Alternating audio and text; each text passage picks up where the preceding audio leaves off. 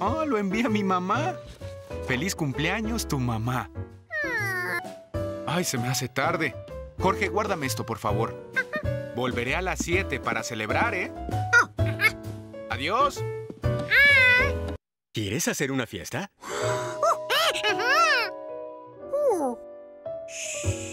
Ah, una fiesta sorpresa. Eso es mejor. Necesitas uno, un apartamento, dos, tus amigos, tres, un pastel y cuatro, decoración. Uno, dos, tres, cuatro. Eso parecía muy fácil. El hombre del sombrero amarillo regresaría a las siete. Tenía cuatro horas para organizar la fiesta. Y los amigos estaban en ese libro.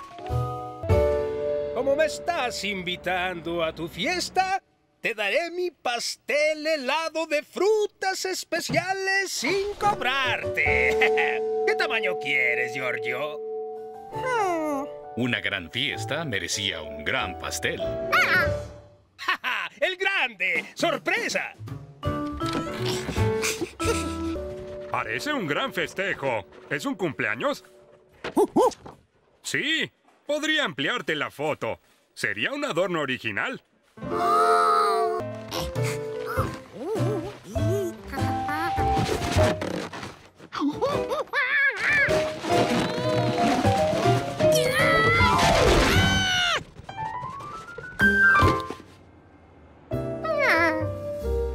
Hola, Jorge. Todos van a venir. Solo dije sombrero amarillo y todos dijeron que sí. Había escogido un pastel muy ancho. No cabía en la nevera. Por suerte, en el balcón hacía frío. Tenía el paso 3, pastel.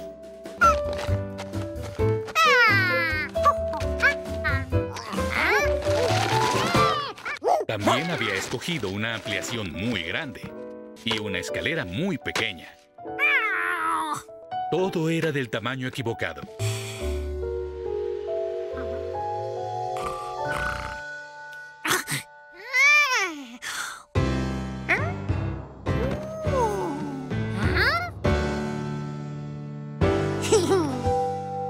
Deseo de Jorge se hizo realidad. Un apartamento del tamaño ideal para un mono. Ahora solo faltaban pastel y decoración. El pastel en la nevera, la fotografía en la pared y la estrella no fue problema. Estaba listo para sus invitados. ¡Hola, Giorgio! Pero no para su tamaño. Espero sea buena hora. Oigan, oigan, ahí viene.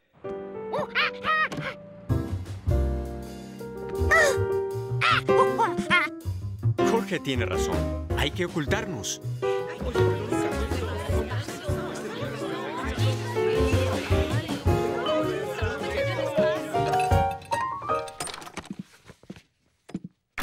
¿Qué tal, amigos? ¡Sorpresa! Ah, ¿Una fiesta?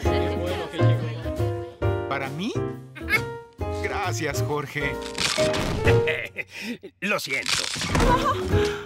También yo. Oigan, oigan, toquemos algo de música. Un apartamento a la medida de Jorge estaba bien para monos, pero no para el tamaño de las personas.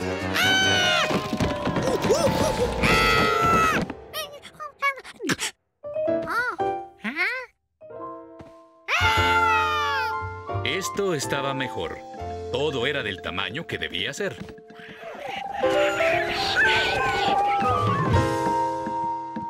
Excepto el pastel. Eran las seis. Solo le quedaba una hora y tenía que empezar de nuevo. Quería todo del tamaño adecuado, así que decidió tomar medidas primero.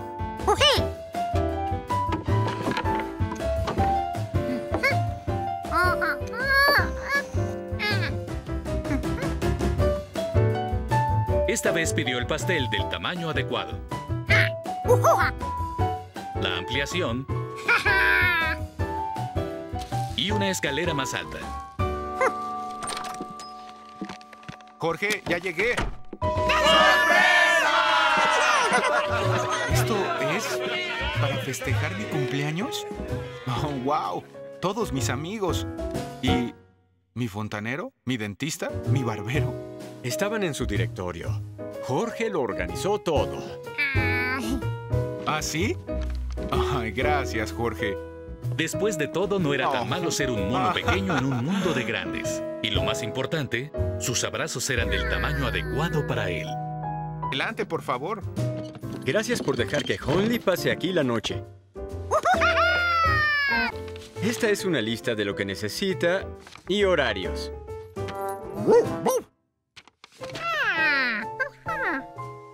Ay, sí que es una lista larga. Adiós. Adiós. Nos encargaremos de que la pase bien. Only acostumbraba tener cada cosa en su lugar. Para que se sintiera bien, Jorge decidió jugar con los juguetes de Honley.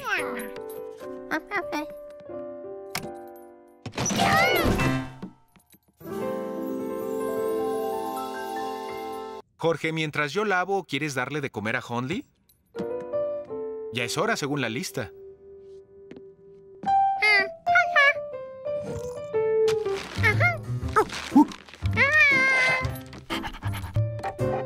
Debía llenar de alimento la taza hasta la línea superior. Hundley no quería arriba ni debajo de la línea. Quería la medida exacta.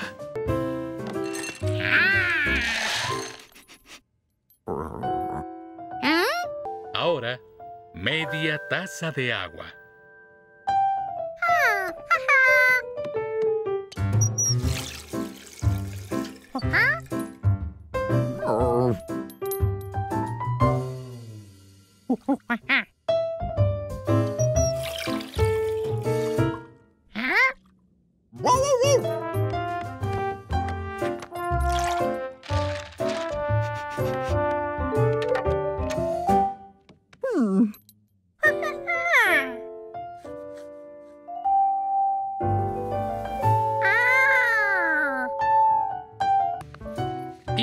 Masticaba bien su comida. Ver a Honley masticar bien no era divertido para Jorge. Jorge estaba ansioso por ver qué seguía en la lista.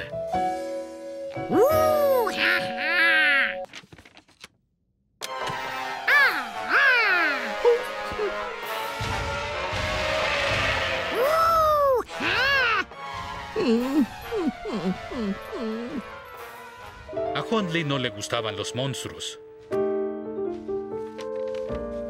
Tal vez ese número era el de su canal favorito.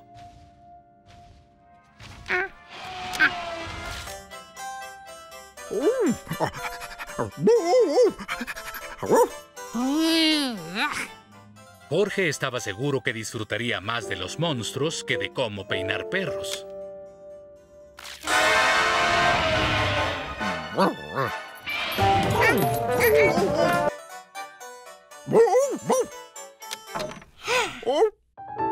A dormir.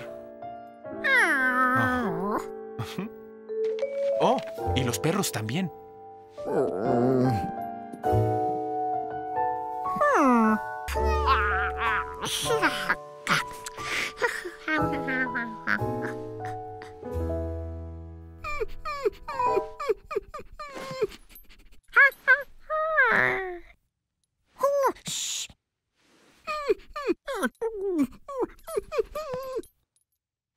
Asegurarse que no quisiera decirle algo importante, Jorge revisó la lista. Condi no quería jugar. Siempre dormía con su ratón de plástico. El ratón le ayudaba a dormir y a ahuyentar las pesadillas. Hundley estaba feliz de tener un amigo como Jorge que se levantara para aventar su ratón por el balcón.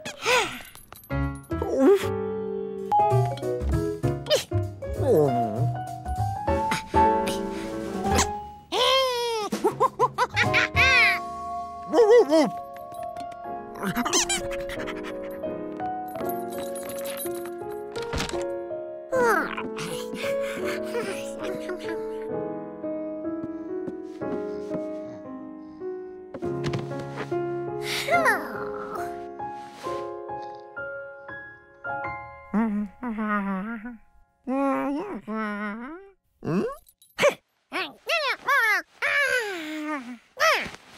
Hundley sabía que Jorge tenía una pesadilla y que no tenía un ratón de plástico.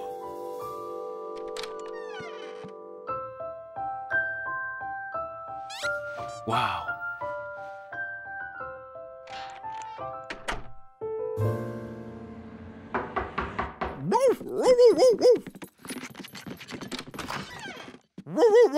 Hola, Honley. ¿Cómo estás, amigo? ¿Causó problemas? Para nada, ¿o sí, Jorge?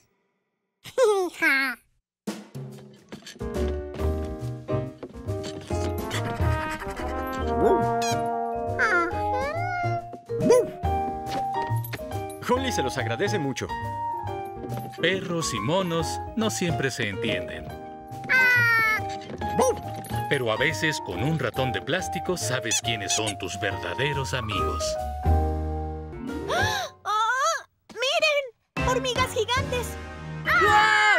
¡Guau! En realidad no son gigantes. Se ven gigantes porque están muy cerca de esta cámara pequeña. ¿Ves?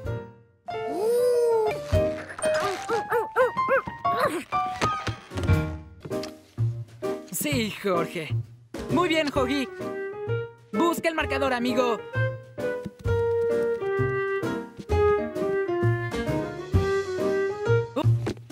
Jorge no podía creer todo lo que había debajo del sillón. ¿Escaleras?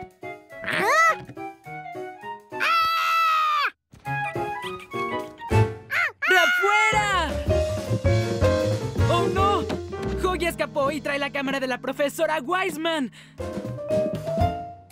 ¡Bicicleta, bicicleta, bicicleta!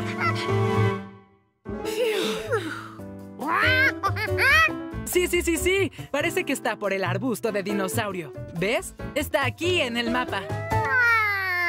Muy bien, tenemos que dividirnos. Alguien debe quedarse en la computadora para saber a dónde va Hoggy. Usaremos mis walkie-talkies para comunicarnos. Yo te diré qué marcas veo aquí y tú las buscarás en el mapa e irás por Hoggy. Estaba en la intersección frente a la casa de tía Margaret. El dinosaurio estaba en la siguiente esquina a su izquierda. Pero Hoggy no estaba.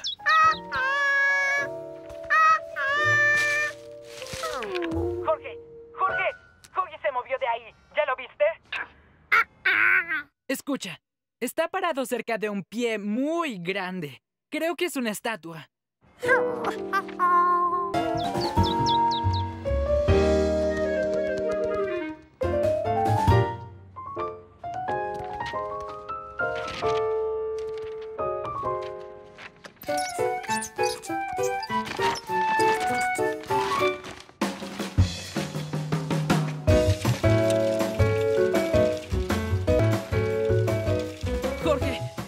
creer esto.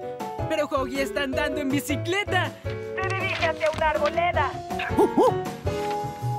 ¿Dónde había árboles en el mapa? El parque estaba frente a Jorge. Tenía que seguir de frente. Y ahí había una bicicleta. Pero no era del tamaño de Hoggy. Ah, no sé en dónde está. No, no puedo ver nada.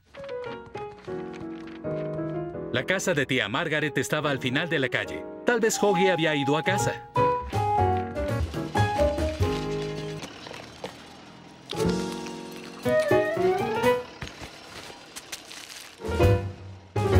Recibo señal otra vez. Ah, Hoggy está en un lugar muy alto, cerca de algo muy grande y muy, muy anaranjado.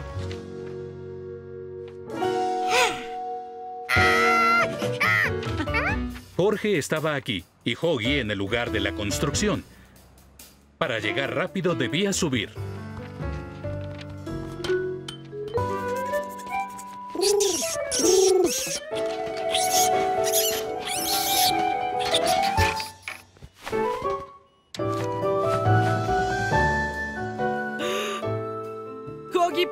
Volar!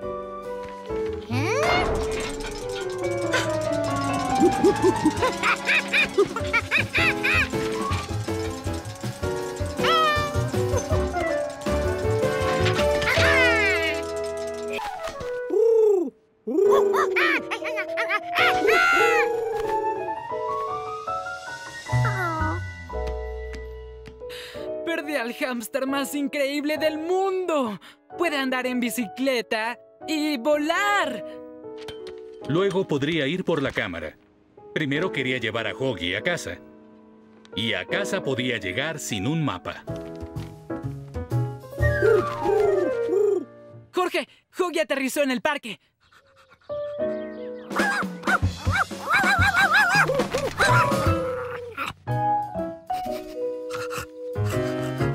Está caminando. Y tiene una lengua muy grande. Jorge, ¿me escuchas? ¡Jorge! ¡Hoggy! Te extrañé, amigo. Ah, espera. Si estás aquí, ¿quién está allá? Jorge, es nuestra puerta. Ah, ya voy, cámara. Hola, Charky. ¿De dónde la sacaste? Hola, Steve. Ah, hola, profesora. Aquí le tengo su cámara. Gracias. Ah, vaya. Bien, me tengo que ir. Profesora Wiseman, tiene que ver esto. Mi hámster puede volar. Anda, Huggy, que vea a la profesora. ¡Vuela, amigo! ¡Vuela! Ah, yo sé que puedes volar. No lo entiendo. Ah, hola chicos. Él es Goliath. Es nuevo en el edificio. Su dueño tiene un invitado alérgico a los perros, así que hoy nos ayudará a Hundley y a mí en el vestíbulo. Si a bloquear el ascensor se le llama ayudar. Son para alumbrar los pasillos. Los guardaré en el sótano en lo que viene el electricista. Ah, Hundley, ¿podrías contestar?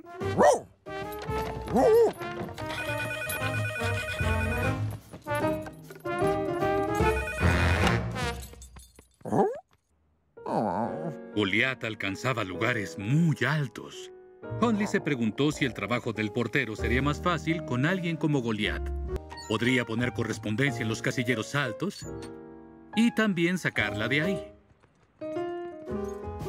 Podría llamar al ascensor. Y tal vez hasta poner la estrella en el árbol de Navidad. Era cierto. El portero quería un perro portero más alto. ¿Cómo podría Jorge alegrar a Hundley? Tal vez sería más feliz si fuera alto como Goliath. Oye, ya sé cómo hacer a Hundley más alto.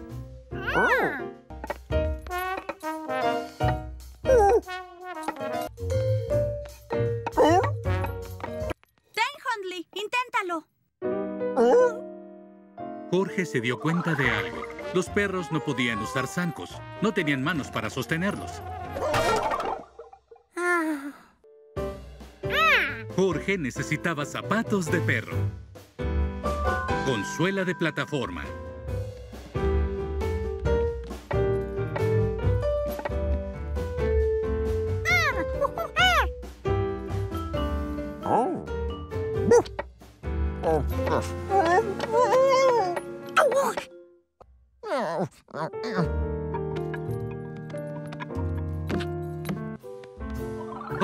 Pequeño en el exterior, pero su espíritu era tan grande como el perro más grande.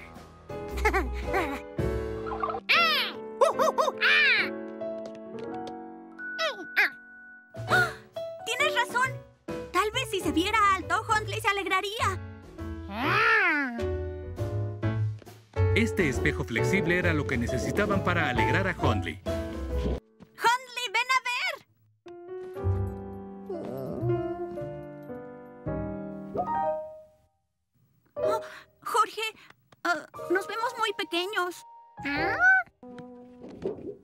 Ya no entiendo nada. Nos veíamos altos en la tienda, pero bajos aquí. Cada nuevo doblez reflejaba una imagen diferente. ¡Oye!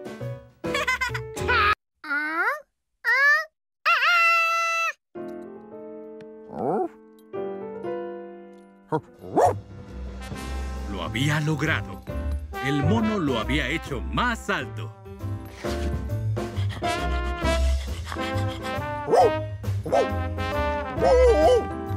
Quería que el portero lo viera.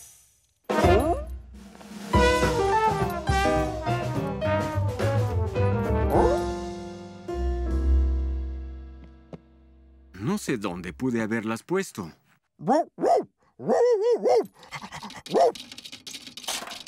¿Las encontraste? Está cerrado. No pudieron caerse ahí.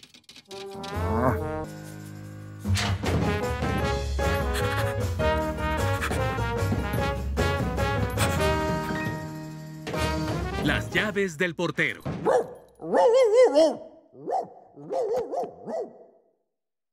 ¿Ah? ¿Hundley? Oye, ¿qué estás haciendo ahí? ¡Mis llaves! Has salvado el día, Hundley. Ya lo creo. Un perro tan grande como Goliath nunca hubiera cabido en ese espacio tan pequeño. Hundley, vigila mi escritorio, por favor.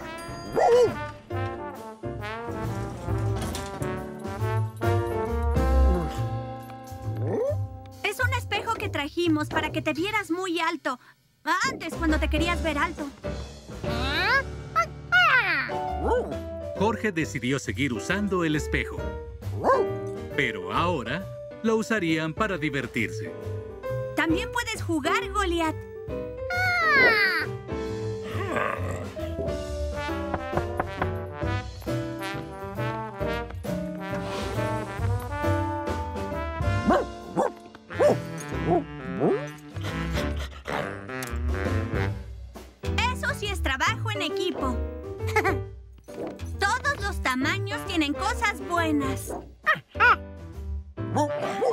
Y con el espejo nuevo, cambiar de tamaño nunca había sido tan divertido.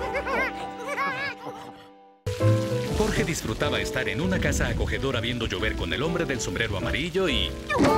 ¡Yorbo! Jorge no puede salir con truenos y relámpagos. Ah, Yorbo está afuera. Tranquilo. Se mojará, pero lo secaremos antes de que se oxide. En cuanto termine la tormenta, iremos por él. Oye, ¿qué tal si jugamos gato? A Jorge por lo regular le gustaba jugar gato, pero esta vez no podía quitarse a Yorbo de la mente.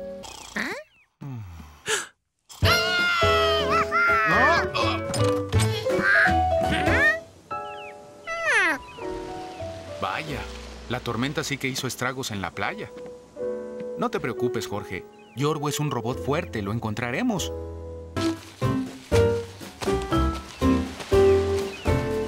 Pero Yorbo no estaba debajo de esas algas, ni debajo de ninguna. Ah, bien. Buscamos sobre la arena y debajo de las algas y nada. O sea que Yorbo debe estar enterrado en la arena. ¡Un robot! ¡Oh, cielos! ¡Encontré oro! ¡Oh! Un reproductor de CDs. Ah, oiga, es mío. Lo había olvidado. Ah, oiga, ¿no fue increíble la tormenta? Siempre encuentro cosas increíbles después de una tormenta, ¿sabían? Ingenioso, ¿no? Es un detector de metales. Ayuda a encontrar metales enterrados.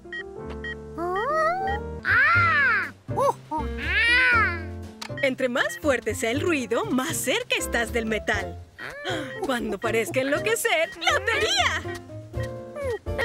Con ese detector, Jorge encontró muchas cosas metálicas.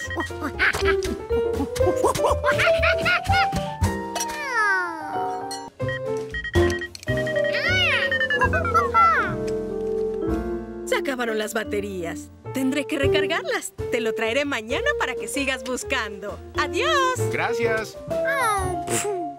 Es que Jorge no encuentra su robot. Quedó enterrado en la arena. ¿Y es de metal? Ajá. Búsquenlo con un detector de metales. Lo hicimos, pero se acabaron las baterías. Es fácil hacer un detector de metales. ¿Ah? ¡Claro! Tomen el radio portátil del estante. ¿Sí? Un radio AM-FM, listo. Busquen la calculadora. Segundo cajón del escritorio. Ahora busquen la cinta. En el primer cajón. Ahora tomen el radio y pónganlo en AM. ¿Ya está? Giren el botón hasta el número de la estación más alta del cuadrante. Tienen que oír la estática y no una estación. Suban el volumen, enciendan la calculadora y péguenla al radio. Fantástico. El radio y la calculadora actúan como un imán. Cuando detecta algo que se pegaría al imán, el radio hace pip.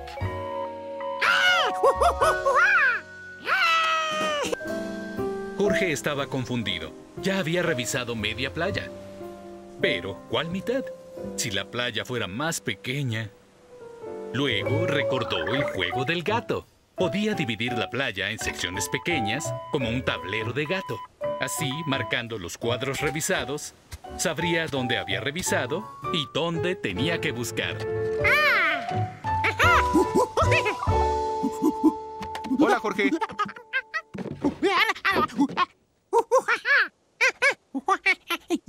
¿Quieres hacer divisiones para llevar un registro? ¡Ah, qué buena idea, Jorge!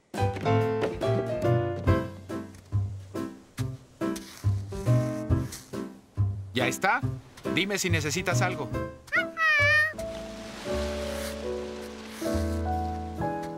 Aún nada, ¿eh?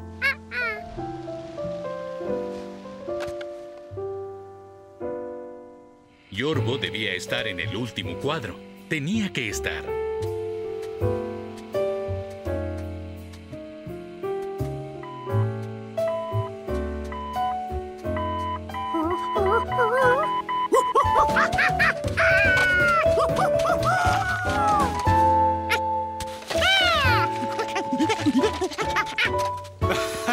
Bien hecho, Jorge. Lo encontraste, sí.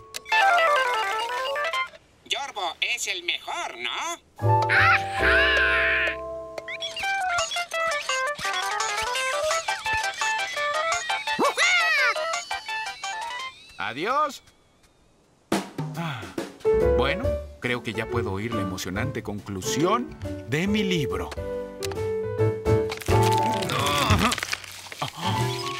Bueno, espérenme.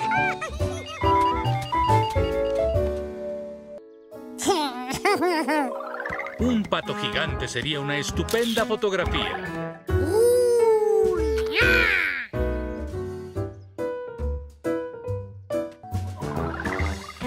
Un pato gigante con cola de serpiente sería la mejor fotografía. Pero una serpiente gigante con patas de pato sería una fotografía aún más increíble.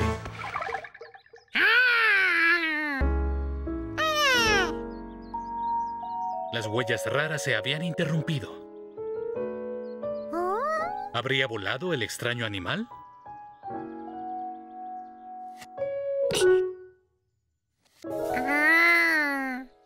Realidad sería que en la piedra no se marcan las huellas?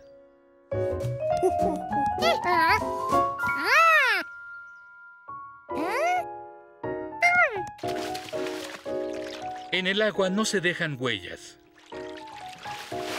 Pero se pueden hacer con agua. Jorge recordó que en algún lado había visto huellas como estas. En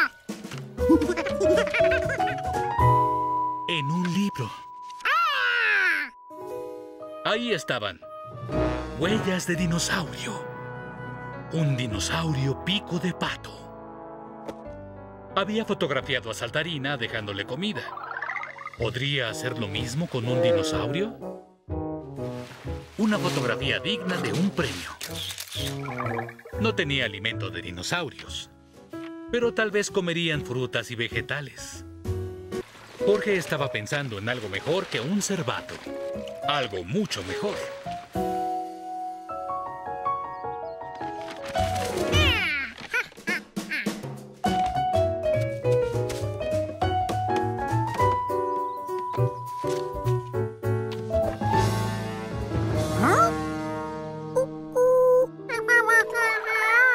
No había posibilidad de que esas huellas fueran de un dinosaurio carnívoro, ¿o sí?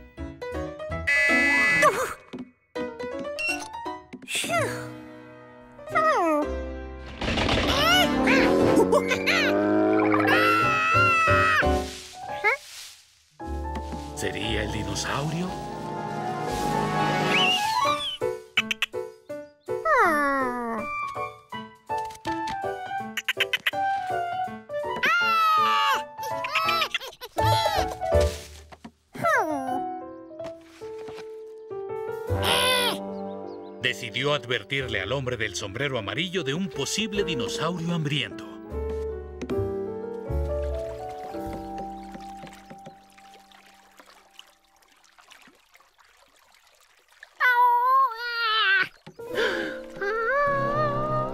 El dinosaurio había salido del agua.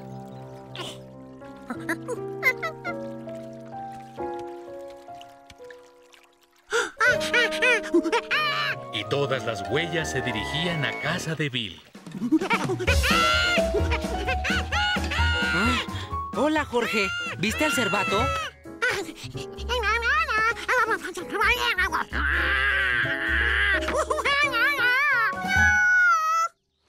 sí, supongo que parecen pisadas de dinosaurio.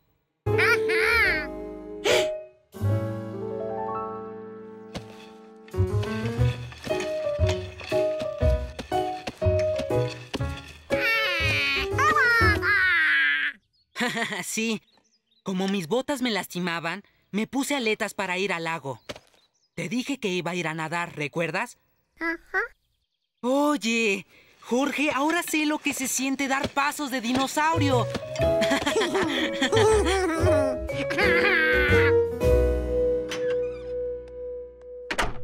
Como no había dinosaurios hambrientos, necesitaba una fotografía para la Semana de la Naturaleza. ¿Otra vez Saltarina tenía hambre? Pero Jorge ya tenía muchas fotografías de ella.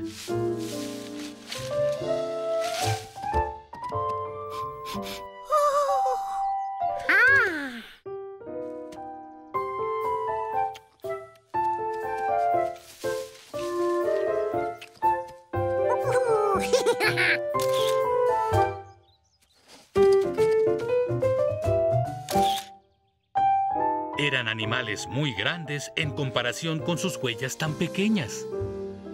Hola, ¿huellas de venados? ¡Wow! ¿Usaste frutas y vegetales para traerlos a la casa y sacar fotografías?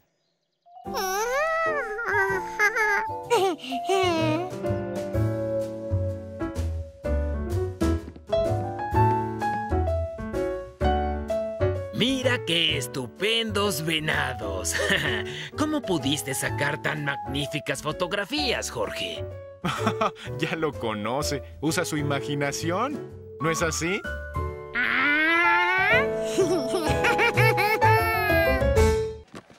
¿Y qué película hay en el menú de hoy? La canasta de los Hounderbill, señor. ¿Los Hounderbill? Ah, es de las películas que nos gustan, ¿no, Hundley? Hundley era partidario del Dr. Honestus, el muy limpio asistente de Basil. Oh. Um, scusi. ¡Mi recetario! ¡Ha desaparecido! ¿Dónde lo vio por última vez? Aquí. Verás, fui a entregar los menús, escuché un ruido, regresé aquí y ¡puf! Y nada, el recetario se desvaneció. ¡Oh! Y sin él yo... ¿Está arruinado? No, pero el postre lo estará. Sin él no sé cómo se hace la cubierta de mi sorpresa de arándanos. Tiene que estar aquí en alguna parte. Jorge notó algo. Que ahora tenía su propio misterio. El caso del recetario desaparecido. Lo primero que tenía que hacer era buscar pistas. Siga buscando. Pondré la película. Tal vez lo encuentre antes de que termine. El misterio del recetario tenía intrigado a Jorge. Tal vez la película de detectives le diría cómo resolver su caso.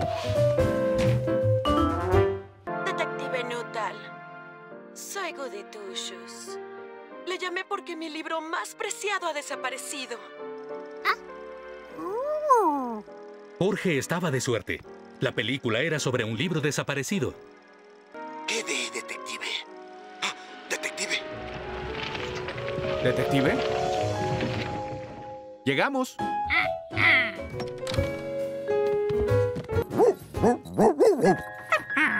Con su leal asistente, el Dr. Hundley, a su lado, estaba seguro de resolver el caso. A Hundley no le gustaba una escena del crimen sucia. Pero ahí sí podría haber pistas. Olía harina y salsa. Oh, no. El doctor Curiosidad había dejado su lupa en casa. Por fortuna, ahí había mucha agua.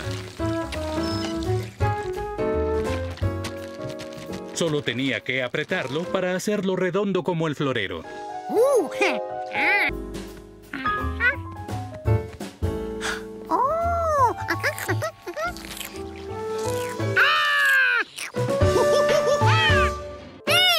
Se había perdido la película, pero ahora tenía una idea que le ayudaría a resolver su misterio. Hmm. Ah, es cierto, el recetario.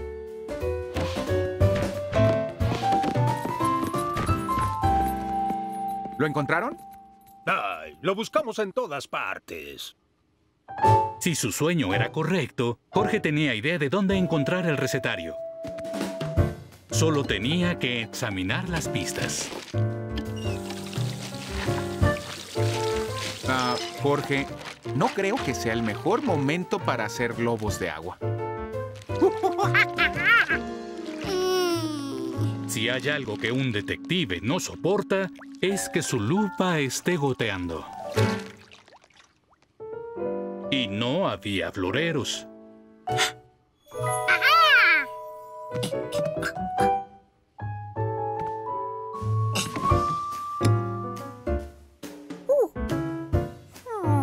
rodillo era cilíndrico y transparente. Tal vez aumentaría el tamaño de las cosas. Tenía una lupa que no se rompería ni tampoco gotearía. Oye, ¿qué estás? ¿Estás haciendo una lupa como la de Basil? Ah, oye, mira esas huellas. Se parecen a las de Gnocchi.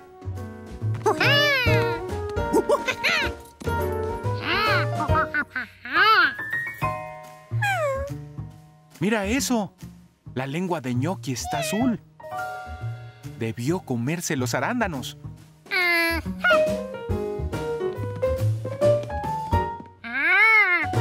Sí, mira eso. En la mesa hay arándanos por todos lados.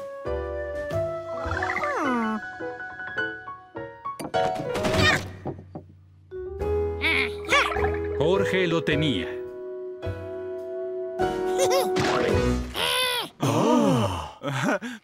No suele hacer eso en la casa. ¡Ahí está mi recetario! ¿Ñoqui? Debes haber tirado mi recetario en mi sorpresa de arándanos por quererte comer los arándanos, ¿eh? Gracias, detective Giorgio. Eres el mejor detective del mundo.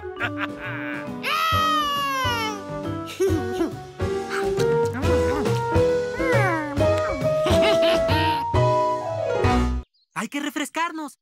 Vamos a festejar el verano con una buena zambullida. Ah, ¿tanque de cosa verde? Son algas. La forma correcta de manejar esta situación es vaciarla y llenarla con agua limpia. ¡Ah!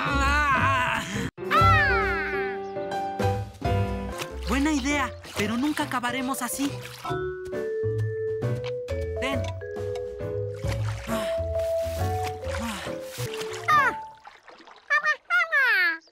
¿La hemos vaciado tampoco? Ah, esto no saca suficiente agua. Necesito un descanso. Buena idea. La sombra está fresca. Nos serviré limonada. ¡Ah! Ya sé qué hacer.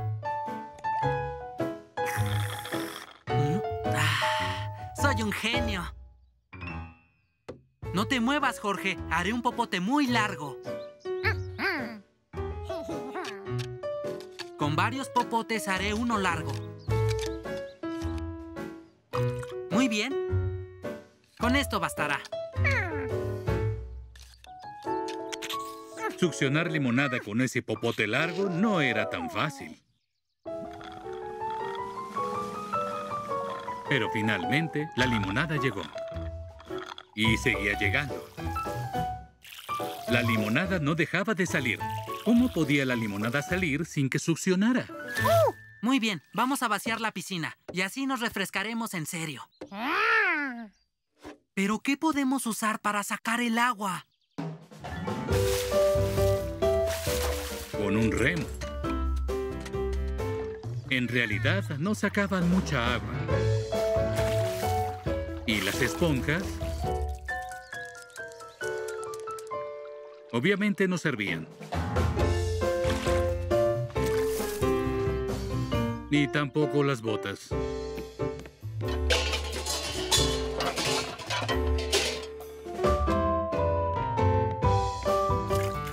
Y las ollas tampoco funcionaban.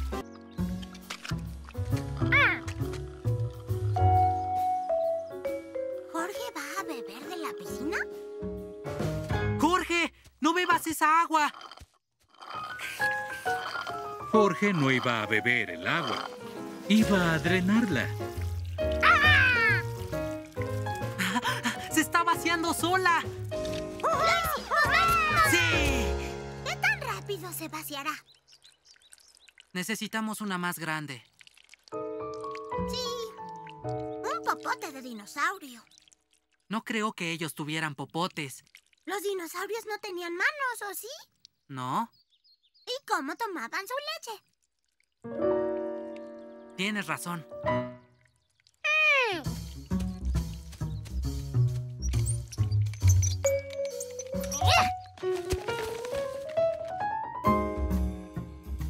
Jorge solo tenía que poner la manguera debajo del nivel del agua, succionar el agua y la gravedad haría el resto. Pero succionar agua de una manguera era más difícil que succionarla de un popote. Dinosaurio la vaciaría en un segundo.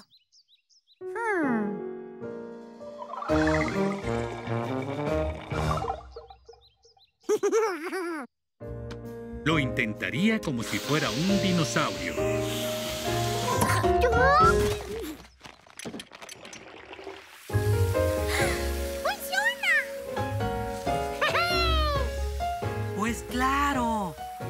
Estabas debajo del nivel del agua y la gravedad extrajo el agua. Oye, nada mal para un citadino. ¡Lo hiciste, Jorge! Hola chicos, mi manguera se perforó. ¿Puedo usar la tuya, Bill? Debo regar mis plantas. Jorge tuvo otra idea.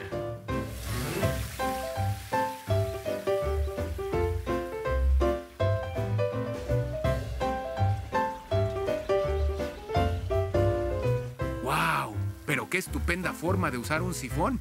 Oye, hasta hay una palabra para eso. Ahora solo hay que lavar la piscina por dentro, llenarla de agua limpia y pronto estaremos nadando. ¿Es todo? ¡Bala de cañón!